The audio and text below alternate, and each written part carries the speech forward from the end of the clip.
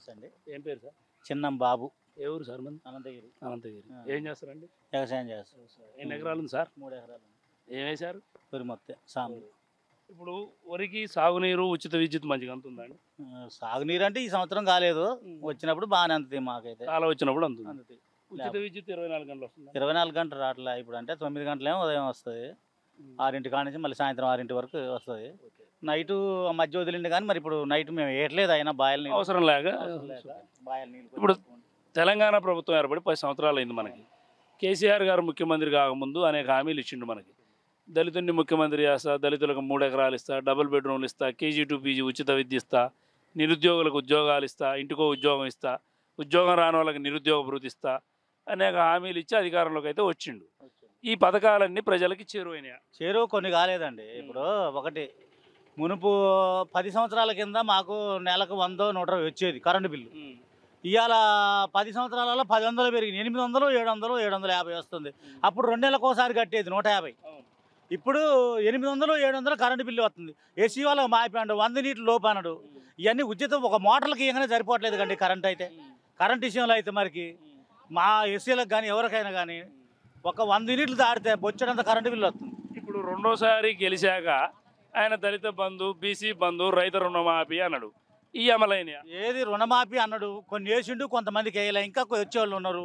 ఇప్పుడు నాకు మాఫీ వచ్చి రెండు నెలలు అయింది. బ్యాంక్ చుట్టూ తిరుగుతాను ఇంతవరకు లోన్ ఇలా కొత్త కాగితాలు కొత్త పానీలు అన్ని దేశపోయించిన ఇంతవరకు మేనేజర్ ఇట్లా కొట్టి ఇప్పుడు రెండు నెలలు అయింది.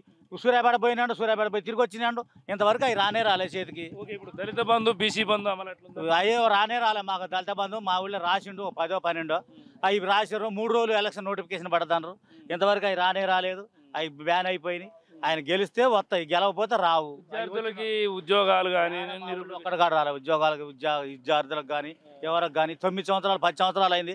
ఒక్క కాలనీ ఇల్లు రాలే. ఎక్కడనో డబుల్ బెడ్రూమ్ ఇల్లు కట్టించి ఎక్కడనో ఇస్తుండు. ఇప్పుడు డబుల్ బెడ్రూమ్ అంటే ఊరు ఊరికి రావాలిగా. కనీసం ఊరికి ఒక ఇరవై ముప్పై సంవత్సరాలు రెండు సంవత్సరాలకు మూడు సంవత్సరాలకు లేని వాళ్ళకి ఇస్తుంటే మండలంలో మా ఊరు ఇంతవరకే గతి లేదు. ఒక్క ఇల్లు. ఒకవేళ ఇల్లు రాని వాళ్ళకి ఏమన్నా ప్రభుత్వ ఏది అసలు ఏది? ఏమి ప్రభుత్వ ఇవ్వలే. స్థలాలు. ఏమి ఇవ్వలేదు. స్థలం ఇవ్వలే ఏమి ఇవ్వలే ఇంతవరకు. ఓకే ఇప్పుడు జరగబోయే ఎన్నికల్లో మూడు ప్రధాన పార్టీలు తలపడుతున్నాయి. BRS Congress BJP. కాంగ్రెస్ వాళ్ళు మేము ఆరు గ్యారంటీ పథకాలు పెట్టినాం. వచ్చిన గెలిచిన వంద రోజుల్లోనే అమలు చేస్తామని చెప్తుర్రు. ఇప్పుడు బీఆర్ఎస్ మూడోసారి మేనిఫెస్టో ఏం పెట్టింది? నాలుగు వందల గ్యాస్ సిలిండర్ అన్నాడు గృహలక్ష్మి అన్నాడు కౌలు రైతులకు కూడా ఇస్తాం అన్నాడు. ఇవన్నీ చాలా అంటుండు. ఇప్పుడు ప్రజలు ఏ పార్టీని గెలిపించే అవకాశం ఉంది జరగబోయే ఎన్నికల్లో? ఏం మార్పు కోరతారని అనుకుంటున్నాం మేమైతే మరి. ఓకే. మేమైతే ఇంతవరకు పదేళ్ళు కాదు ఎనభై మూడు నుంచి కూడా మేము టీడీపీ.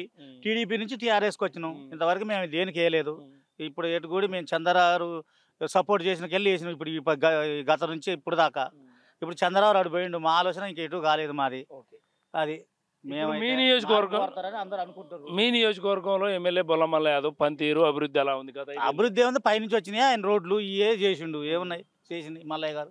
ఒక పది ఇల్లు ఇచ్చిండా? ఏమన్నా తీసుకొచ్చి ఏమన్నా డబుల్ బెడ్రూమ్లు వచ్చినాయి? మండలం అయినా కానీ ఇంతవరకు ఏం రాలేదు మాకు. ఆ చంద్రరావు గారు చేసిన పనులే ఎక్కువ ఉన్నాయి. మల్లయ్య గారు చేసిన ఆ రోడ్లు అయితే వేసిండు బాగా. కొన్ని. ఆయన అద్దములు కూడా రోడ్లు ఉన్నాయి. కొన్ని వేసిర్రు జరగబోయే ఎన్నికల్లో మీ నియోజకవర్గంలో కానీ రాష్ట్ర ప్రభుత్వం కానీ ప్రజలు ఏ పార్టీ అధికారంలోకి వస్తారని భావిస్తారు ఏం మార్పు కోరతారు అని మేము అనుకుంటున్నాం అండి మేమైతే మరి అది ఎట్లా జరిగిద్దో ఏమో.